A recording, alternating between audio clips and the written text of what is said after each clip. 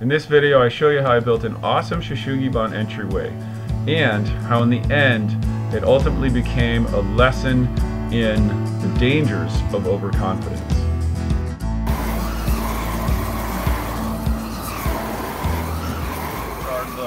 Um, and now what we're going to do to create a look that's even cooler is we're lightly sanding it with a 60 grit orbital.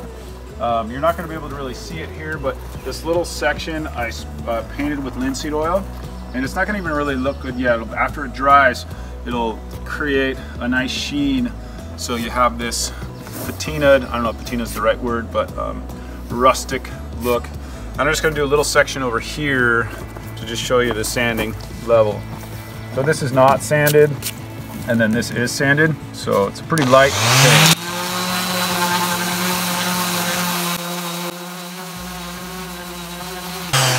Then I'm just leaving, leaving a little bit of the charring on there, and just so the grain pops out in between the chars. So this is the linseed oil treatment, um, and it'll it shines up real good, but then the color sort of deepens and richens after the linseed oil dries out. So it's got a nice, you know, this is a redwood, which is already a really rot resistant wood. And you add the Shou Sugi Ban treatment with some linseed oil. Uh, makes it look really cool, bitchin' old and rustic, and should last quite a long time.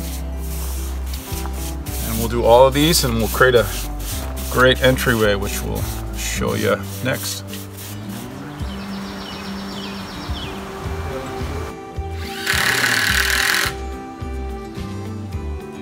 So these are the posts for our new entryway. And the only thing I really want to draw your attention to is the um, 2 by 4 that goes across between them. And that's screwed on and that ensures that they're on the right plane with each other when we stick the um, final header across the top. And these are nice and plumb. It's gonna be beautiful. Set it on the top of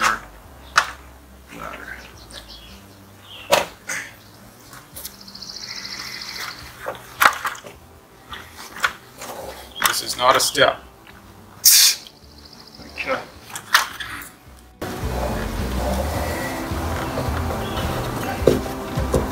Pause.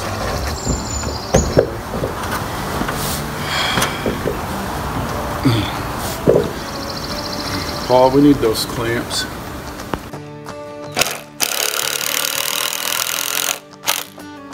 Okay, Pat. Are you ready?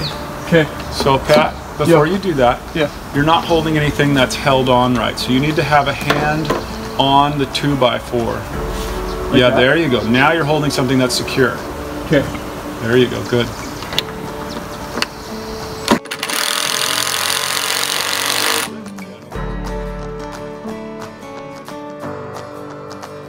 So at this stage in the game, I guess the important things to show you are, uh, well, first I measured from the top down the width that I wanted the post to set on the bottom, uh, and then I put on the two by four scabs, and those are really critical so that when you stick up the big board, it sets on top. Um, and then once I put the two by four scabs on this side, then I put a laser level on top of them and shot the level over there, uh, and then made the same uh, marks for that side. So now we have a perfectly plumb and level archway, or not archway, but uh, entry gate.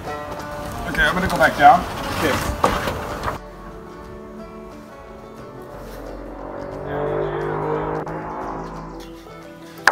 So when we started to put up this second cross member, it was a lot heavier than the other one, filled with more water, and so it was not, it didn't feel safe.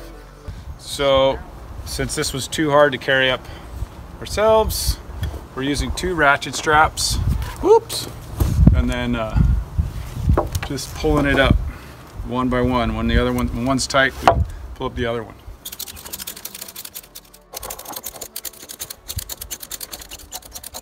So the one point I wanted to make in terms of safety, because this is all pretty intense work. So Pat here, when he's he's stabilizing this right now, and this is not secured over here. But what he's doing is this board right here is nice and secure and stable. So he's keeping one hand fully locked on the secure point at all times. So then when he holds this, he's got something secure to, to hold on to. So now we got this just locked in place. It's not going anywhere. And then we're gonna go lift that one up and then we'll screw it off and we'll be ready to go.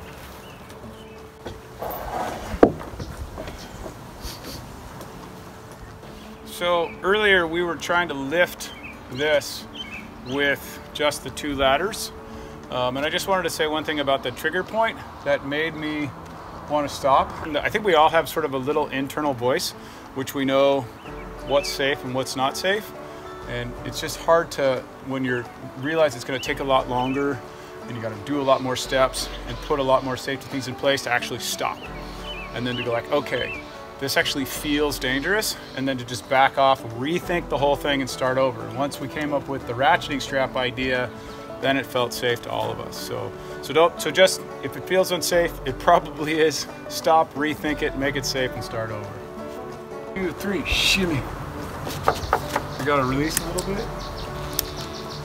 Okay, one, two, three, shimmy. Pretty good. You're good? Are you, lined up. are you right on then? Yeah, that looks, that looks perfect to me. Okay.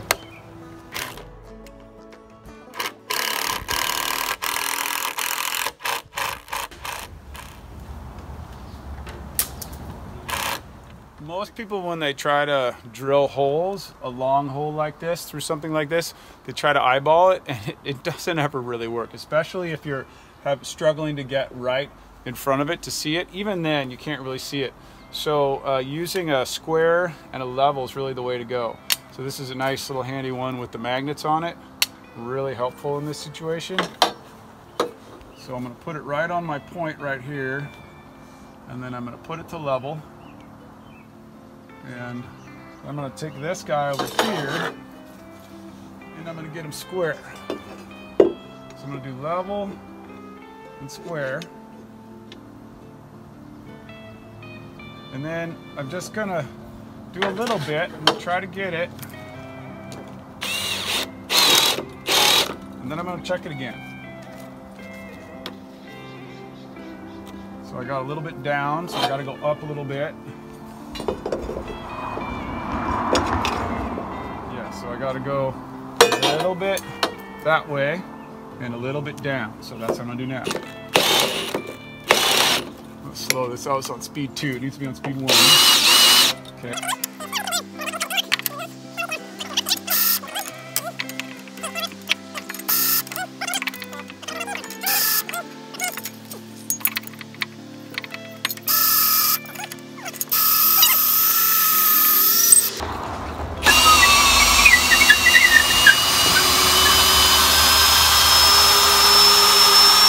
Let's go see how we did. So you can see the it's about three inches up, which is right where I wanted it to be. And it's fairly centered on the post, which was my goal. It's actually uh, just a hair off to the left there, but um, had we not used that whole technique, it would have been a lot worse. So I'm just gonna set these things with a regular old impact driver with an adapter, a little speed chuck adapter you should get one of those for your kid if you don't have one. Um, they're just super useful. Um, and then it's just a, a, I think a regular small size, adapted up to these big ones. It works fine. Uh, a bigger one would be great if I had a more powerful driver, but I don't have it with me. So we're just gonna use the little one and max it out.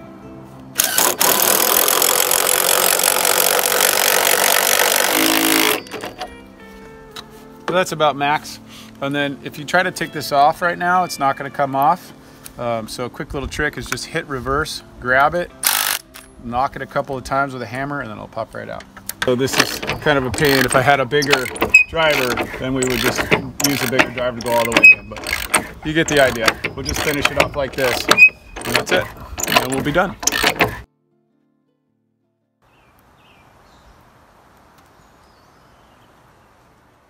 So it's two years later now.